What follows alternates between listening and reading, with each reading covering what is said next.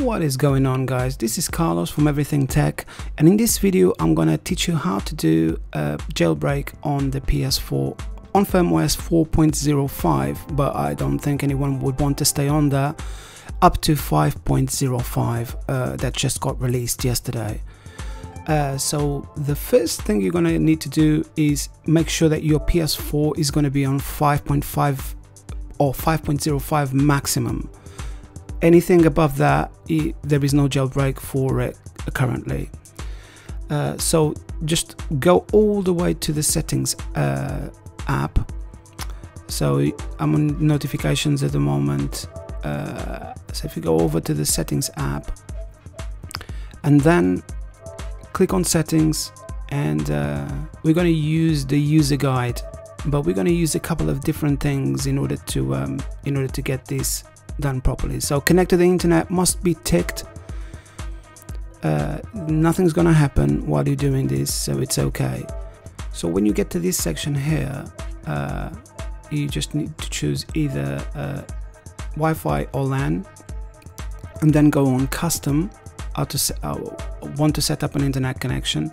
This will scan for your network, but if you're on LAN, it won't scan for anything. There used to be a bug here uh, where if you use Wi-Fi to do this, uh, it would uh, it would not work, but that's not the case anymore. So you can use Wi-Fi, scan for your network, put your password in, and then in here IP address settings, just go on automatic.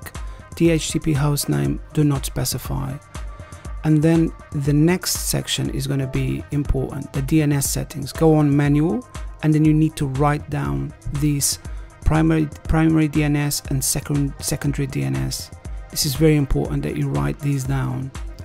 Once you do that I'll leave it on the screen for a little while but if you if you uh, don't pick it up in time just either use your smartphone and take a picture of it or you can just uh, pause the video here and uh, carry on when you've got everything done on your on your PS4 so after that uh, we go next one more time.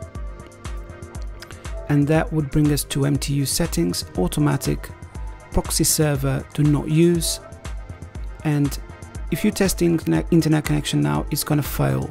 So that's nothing to be alarmed about. It will just it's normal that it does that because you're on a lower firmware and you've got no access to the internet. And because you've put a DNS uh, set setting that is not is not supposed to be there so uh, now that we've done that I'm just going to show you that I am on 5.05 and there you are. And now we're going to go back to the main screen and use the user guide at the top and click on user guide and then a page will come up with the firmware selection. Go on 5.05 or whatever firmware that you're in. And then on 5.05, you need to do it the Mira. If you're on a lower firmware, then you need to choose the right firmware that you're in. So click on Mira and you might get this screen and this is normal. Uh, there is not enough free system memory. Just click OK and it will refresh again until it actually completes the task. So you're all set. That's it. Your PS4 is now jailbroken. And uh, all we need to do now is go and check it, see if our debug settings are on, and then we come back here to block any further updates that your console will try to do because you're on a lower firmware than what you're supposed to be. So that's the debug set settings. That's all done now.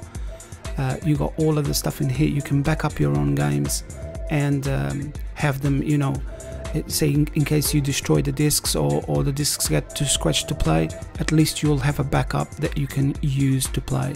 So now let's go back onto the user guide and back onto the user's guide. And in here uh, click on 5.05 and then click blocker. You might get a message that it's not done or you might get a, a, this message which is the completed message.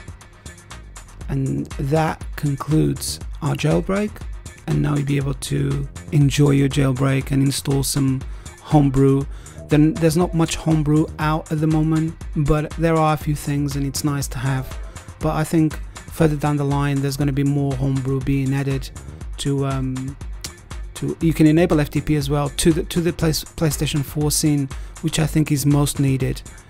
So I guess this is it for this video guys. Thank you very much for watching. If you did like this video, if this video helped you, please give me a like and consider subscribing so I can release some more content like this. Uh, I will be in a further video. I'll be teaching you how to back up your own games and how to um, install them back in if you ever need to. So thank you very much for watching. Please don't forget to click on that bell icon so you can get notifications for any new videos. Thanks again. Bye bye.